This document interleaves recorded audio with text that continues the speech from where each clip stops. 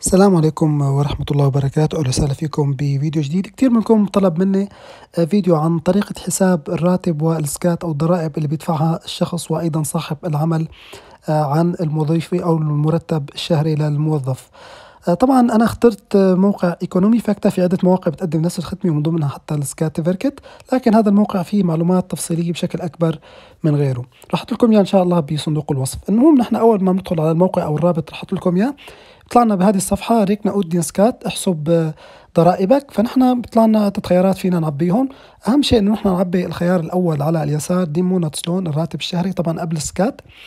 واللي حابب يحط إذا كان عنده دخل آخر annan inkomst بالشهر كمان بضيفه بالمربع الثاني على اليمين.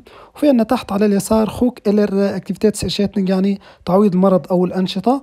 وأهم شيء إنه نحن نختار البلدية. يعني أهم شيء نحن نكتب الراتب ونختار اسم البلدية اللي نحن ساكنين فيها أو عم نشتغل فيها. أنا حطيت على سبيل المثال آه، بلدية فالون. الراتب مثل ما شفتوه حطيته 25 ألف على سبيل المثال. وهون عندنا كمان مهم جدا نحن نكتب تاريخ الميلاد لأنه ممكن يفرق العمر والبلدية بتفرق ب skatt بين مكان وآخر.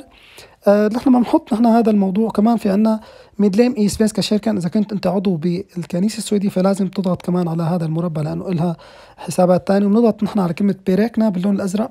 فرح تطلع لنا الصفحة بهذا الشكل. الراتب اللي شخص راتبه 25000 قبل سكات رح يقبض صافي 19690 ببلدية فالون. ممكن يختلف الرقم بين بلدية أخرى مثل ما ذكرت. الراتب الكامل أو تكلفة الراتب الكاملة هي 32855 كرون. طبعا بعد إضافة رسوم صاحب العمل اللي هي مثل ما شايفين هم بالتفاصيل قيمتها 7855 طبعا كل ما زاد الراتب كل ما زادت هي الرسوم.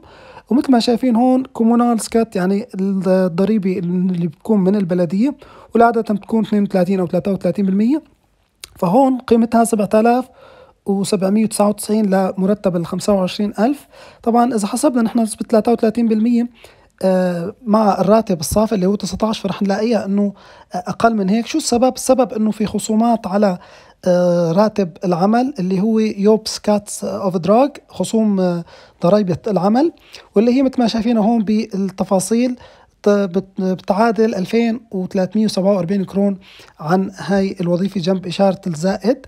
فبالتالي بتكون المبلغ المقتطع بالضريبة بيكون أقل من 7000 المهم أنه الرقم النهائي للراتب أو الراتب الصافي باللون الأخضر 19690 عن الراتب اللي 25000 وتكلفة الضرائب عن الموظف وعن صاحب العمل يعني مجموعهم مع بعض هن 13165 كرون لهذا الموظف.